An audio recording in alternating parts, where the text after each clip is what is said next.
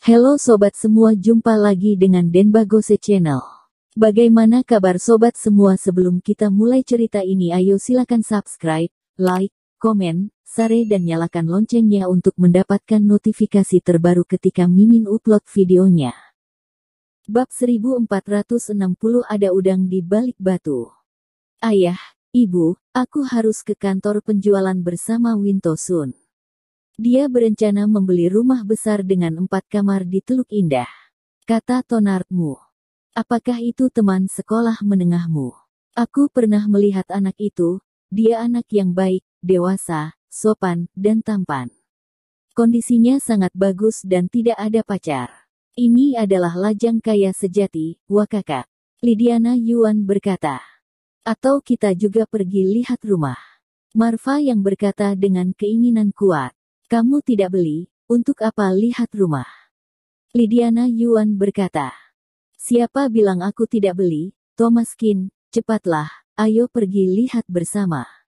Bisa saja kamu juga suka nanti. Marfa yang berkata sambil tersenyum, seolah-olah dia sedang mendesak orang untuk beli. Bu, apa yang kamu bicarakan? Beli rumah apa? Elminamu menghentakkan kakinya dan tampak cemas. Kak Thomas datang untuk menolongmu untuk menghadapi kalian, kamu ternyata minta Kak Thomas membeli rumah. Ayo pergi, temani Bibi lihat. Thomas Kin berkata sambil tersenyum, seolah tidak masalah. Hati Marva yang berbinar. Apakah Thomas Kin berencana membeli rumah untuk Elmina Mu? Marva yang sebenarnya punya niat lain, yaitu melihat seperti apa teman sekelas Tonartmu. Dia mampu membeli rumah dengan empat kamar tidur yang nilainya puluhan juta yuan. Bagaimana mungkin hanya orang biasa? Mungkin saja anak keluarga kaya raya, jika bisa menikah dengan keluarga kaya, bukankah keluargamu mereka juga ikut naik ke surga? Tidak butuh kamu lagi sekarang, Thomas Kin. Bahkan jika kamu tidak membelinya untuk Elmina kami, mungkin seseorang akan membelinya.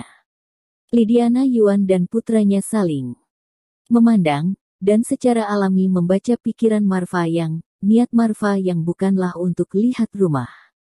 Dia ingin melihat rumah atau menantu laki-laki, itu belum tentu. Nol ke, mari kita lihat. Toh lagi santai juga.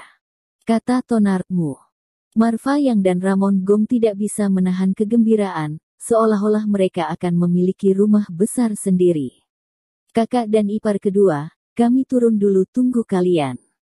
Marva yang menarik Thomas Kin dan Elmina Mu dan buru-buru turun. Ayo bicara, tidak ada siapa-siapa.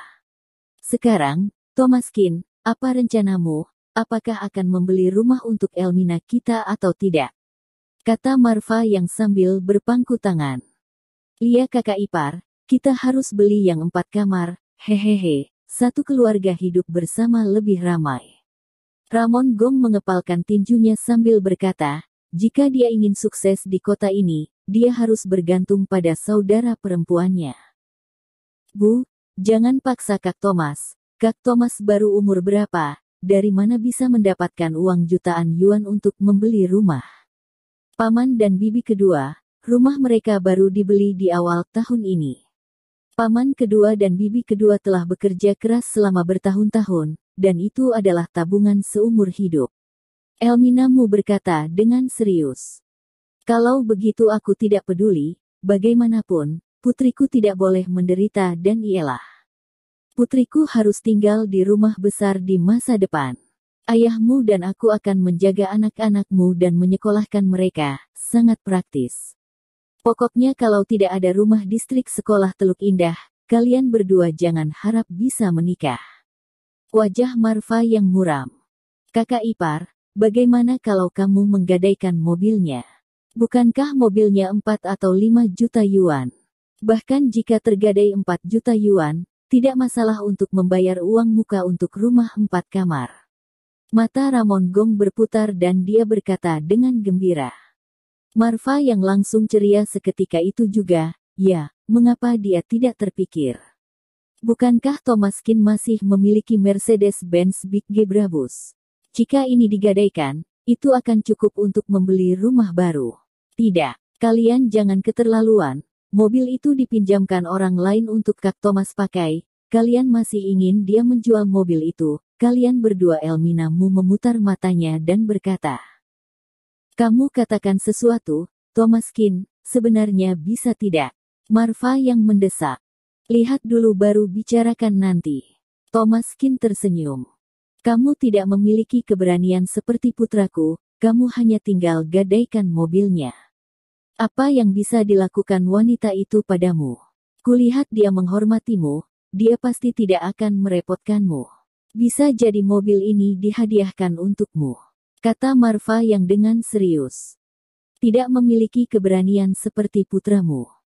Thomas Kin hampir tertawa, dan Elmina Mu tidak sabar untuk menemukan celah di tanah untuk masuk. Aduh ibuku, kenapa kamu tidak merasa malu untuk mengatakannya?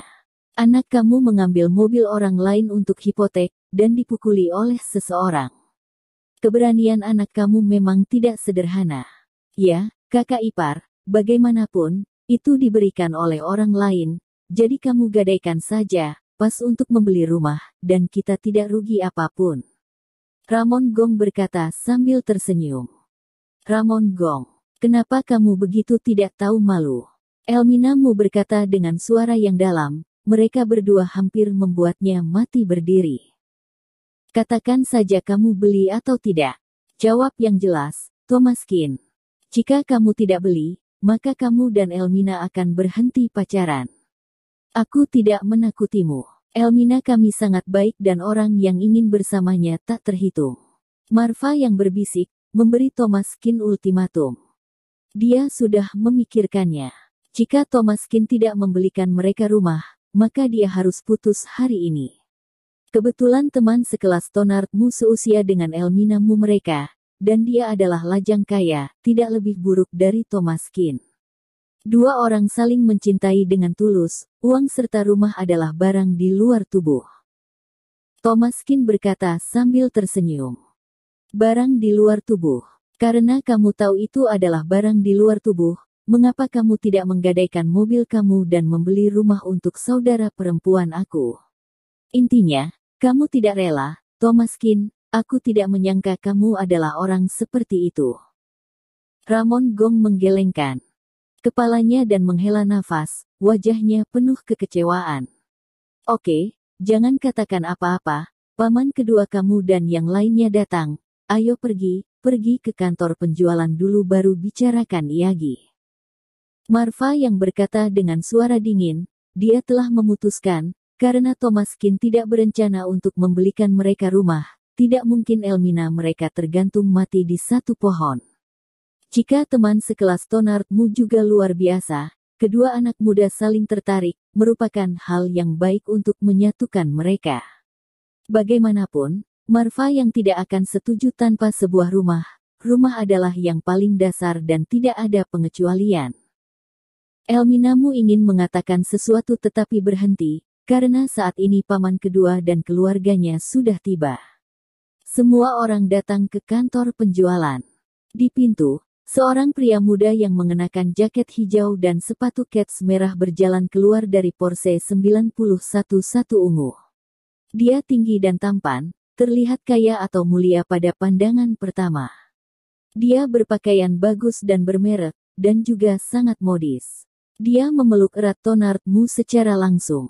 Ke mana perginya kamu dalam dua tahun terakhir ini? Akhirnya aku melihatmu, sial. Porsche 911, bro, luar biasa. Tonardmu berkata dengan ekspresi iri. Ini kecil, waktu aku masih sekolah, keluarga aku tidak mengizinkan aku mengungkapkan kekayaan aku. Padahal, aku adalah anak dari bos besar.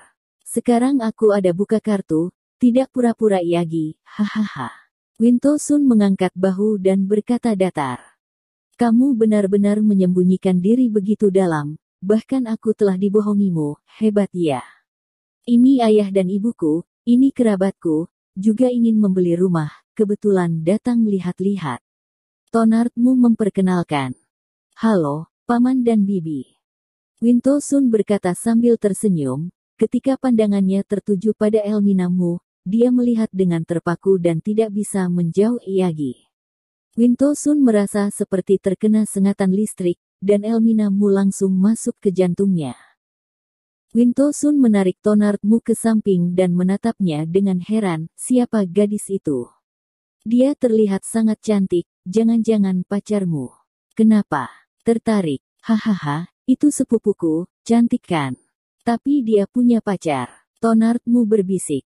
Jika ada penjaga gawang, lalu apakah aku tidak bisa mencetak gol? Cek, aku dulu sangat rendah hati, sekarang saatnya untuk menyombongkan diri, sepupumu, aku pasti dapatkan. Mata Winto Sun sangat membara, terus menatap Elminamu. Bersambung Terima kasih kepada kalian yang telah menonton video ini jangan lupa tekan tombol subscribe-nya dan nyalakan notifikasinya untuk mendapatkan video-video seru lainnya dari channel Denbagose.